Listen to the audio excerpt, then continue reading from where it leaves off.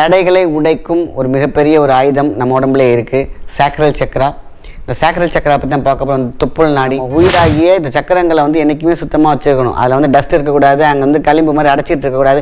எப்படி இருந்துச்சா நம்ம உயிர் மல்லு கட்டி இழுத்து பொறுமையாக போகலாம் ஞாயிற்றுக்கிழமை மட்டும் செஞ்சிங்கனாக்கா இல்லை சிலை செய்கிறதுக்கு முன்னாடி சூரிய பகவானை வேண்டிக்கோங்க. குலதெய்வத்தை வேண்டிக்கோங்க.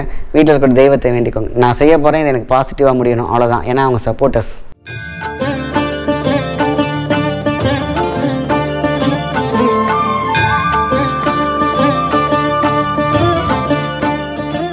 வணக்கம் உங்கள் மாயன் செந்தில்குமார். இன்றைய பதிவு மிகவும் முக்கியமானது.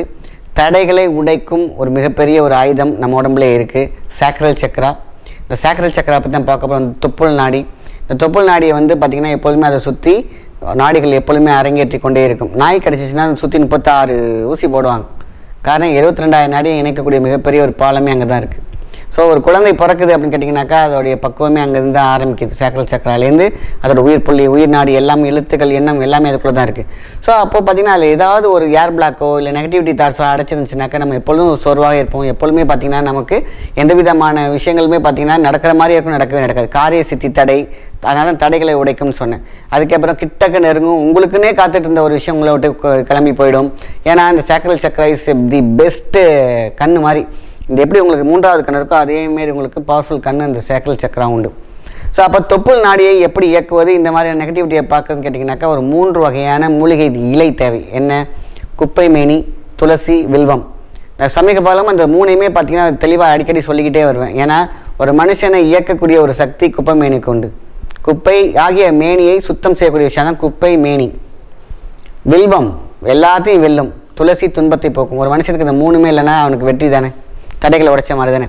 அது என்ன பண்ணோம்? எல்லாத்தையும் ஒரு கொஞ்சம் கொஞ்சம் ஒரு ஃபிஃப்டி கிராம் ஃபிஃப்டி கிராம் போட்டு நல்லா மைய அரைச்சி நம்ம வந்து இது ஞாயிற்றுக்கிழமை ஞாயிற்றுக்கிழமை பண்ணணும். எத்தனை ஞாயிற்றுக்கு பண்ணலாம். எந்த அளவுக்கு நம்ம பண்ணுறோமோ அந்த அளவுக்கு சுத்தம் தான். இது ஏஜ் லிமிட் பத்து வயசுக்கு மேலே பண்ணலாம். கொஞ்சம் சும்மா சின்ன சின்ன பத்து வயசுக்கு மேலேனாக்கா இந்த இதில் மூணையும் அரைச்சி ஒரு ஞாயிற்றுக்கிழமை படுக்க வச்சு சும்மா ஜஸ்ட் துப்பு தொப்புள் மேலே கொஞ்சோண்டு வடை தட்டுறமே தட்ட வேண்டும். அவ்வளோதான் இது ஒரு ஆஃப் அன் ஹவர் அப்படியே மல்லாந்து படுத்திருந்தாலே போதுமான விஷயம். இந்த தொப்புள் நாடியில் இருக்கக்கூடிய சுற்றியில் இருக்கக்கூடிய அடைப்புகள் என்னென்ன வியாதிகள் எல்லாமே குப்பை மேனி மிகப்பெரிய தி பெஸ்ட் இந்த மூணையும் அப்படி அரைச்சி மருதாணி போல் சும்மா வடை மாதிரி தொப்புளில் போட்டு வஞ்ச வேண்டியதான் இந்த சேக்கரல் சக்கரா இந்த பெஸ்ட் எல்லா சக்கரையும் இயங்கக்கூடிய மெயின் சக்கரம் அது. அது ஒரு அதில் வந்து பார்த்திங்கன்னா டஸ்ட் அடைஞ்சிருக்கும். இப்போ ஒரு மா ஒரு எக்ஸாம்பிள் ஒரு மாட்டு வண்டி இப்போ மா- மாடு இழுத்துக்கிட்டு போகுது அப்படின்னா நம்ம உயிர் தான் அந்த மாடு அப்படின்னு வச்சுக்கிட்டிங்கன்னா இந்த வண்டியை இழுத்துட்டு போகணும். அப்போது ஒரு ரொம்ப நாள் ஓடாமல் இருக்கக்கூடிய வண்டி வண்டி அந்த சக்கரமில் பஸ் வச்சுருப்பாங்க பார்த்தீங்கன்னாக்கா அந்த மசை இருக்கும். காற்று மண் பட்டு பட்டு பட்டு இறுகிடும் இந்த இழுக்கும் போது பார்த்தீங்கன்னா ஸ்லோவாக போகும். அந்த வண்டி இந்த மாடு இழுக்குது பார்த்தீங்களா தம் ஆகி இந்த மூச்சு வாங்கி வாணி ஊற்றும் அவ்வளோ கஷ்டப்பட்டு போகும். இதே நம்ம அதெல்லாம் எடுத்து ரிப்பேர் பண்ணிவிட்டு உள்ள புது கிரீஸ் போட்டிங்கன்னா கஷ்டமாக கடை கடை கடைன்னு போகும். இந்த மாடு ஸ்பீட் போகும். இந்த இழுத்து இழுத்து இந்த மாடு பார்த்தீங்கன்னா சீக்கிரமாக செத்து போயிடும் அதுமாரி தான் இந்த நம்ம உயிராகிய இந்த சக்கரங்களை வந்து என்றைக்குமே சுத்தமாக வச்சுருக்கணும். அதில் வந்து டஸ்ட் இருக்கக்கூடாது. அங்கே வந்து களிம்பு மாதிரி அடைச்சிட்டு இருக்கக்கூடாது. எப்படி இருந்துச்சுன்னா நம்ம உயிர் மல்லு கட்டி இழுத்து பொறுமையாக போகும்.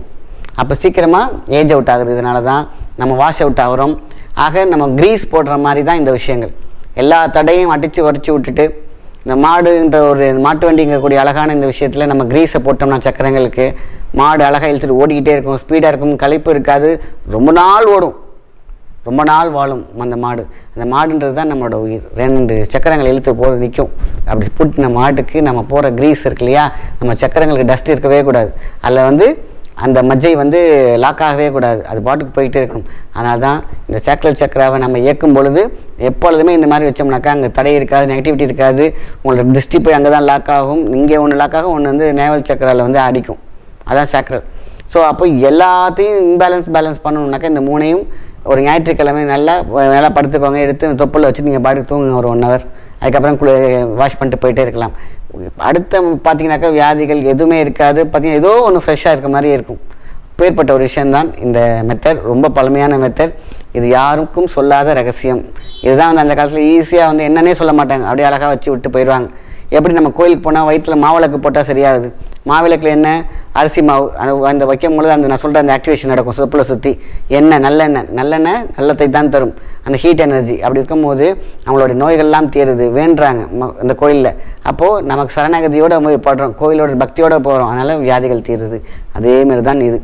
இதை செஞ்சோம்னா வீட்டில் ரொம்ப ரொம்ப காலையில் செய்யலாமா? சாப்பிடுவது கொஞ்சம் வெறும் வயிற்றில் இருந்தால் சூப்பர். வெறும் வயிற்றில் இருக்கும்போது காலை மாலையை செஞ்சிங்கனாக்கா ரொம்ப நல்லது இல்லை காலை மட்டும் செய்யலாம். ஞாயிற்றுக்கிழமை மட்டும் செஞ்சிங்கனாக்கா நல்லது. சிலை செய்கிறதுக்கு முன்னாடி சூரிய பகவானை வேண்டிக்கோங்க. குலதெய்வத்தை வேண்டிக்கோங்க.